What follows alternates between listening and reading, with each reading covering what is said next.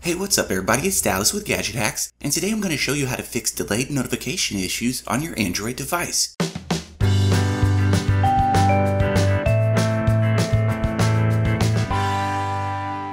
Now, a lot of Android apps use Google's cloud messaging service to send and receive notifications. These include Hangouts, Gmail, Pushbullet, Facebook, and even WhatsApp to an extent.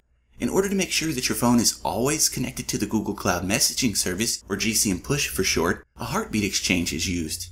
Think of this like your phone occasionally asking GCM Push, hey, are you still there? And in most circumstances, GCM Push responds and the connection is maintained.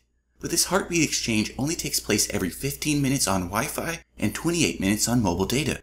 That's fine for a lot of folks, but some carriers and internet providers will sever all idle connections after 5 to 10 minutes. If this happens, your phone is no longer connected to the GCM push service, and the connection won't be re-established until the next heartbeat is scheduled to take place. So say you're on Wi-Fi and your internet provider severs all idle connections after 5 minutes. This means between heartbeats, your phone spends 23 minutes disconnected from GCM push. All of that may sound very dry and technical, but from an end user standpoint, this means your notifications will be delayed for up to 23 minutes. So if you've been experiencing notification delay issues, you'll definitely want to check out an app from developer Ann Climax. This does require root though, but if you need any help with that, just check out my article on Gadget Hacks. The app is called Push Notifications Fixer, and it's available on the Google Play Store for free. So search it by name to get it installed, then we'll check out the setup process. Now right off the bat, the app will ask for super user access, so tap Grant on the pop-up. From here, the interface is rather simple.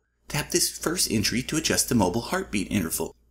By default, this is set to increase the GCM push heartbeat interval to once every 6 minutes while you're on mobile data. So it's a big improvement from the regular 15 minute interval, but you can go higher or lower if you want.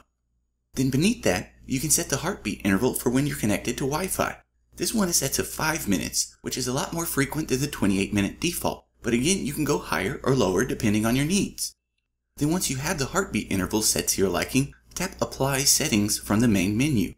At this point, you'll get a pop-up informing you that you'll need to either toggle your internet connections off and on or simply reboot your phone. To be on the safe side, I'd recommend rebooting your phone now. Then when you get back up, your GCM push heartbeat interval will have been permanently lowered, so your connection to the service should be much more consistent now. In the end, this means most delayed notification issues you've been experiencing should now be a thing of the past. But for the full breakdown, be sure to check out my article over on GadgetHacks.com. And as always, we'd appreciate it if you would like and comment on this video and subscribe to our channel. So we'll see you again next time, folks, but until then, happy gadget hacking!